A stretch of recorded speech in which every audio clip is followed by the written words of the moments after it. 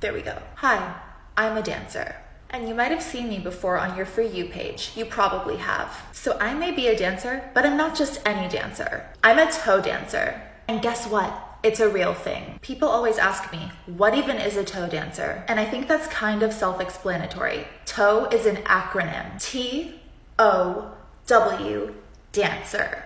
T is for terrific. O is obviously for outstanding. And W, that's for winning. So, what's that spell? Terrific, outstanding, winning dancer. Thank you very much. Well, you might be wondering, what does a toe shoe even look like? Um, I'm pretty sure you've seen one before. But just in case you're uneducated, let me show you. This is a toe shoe.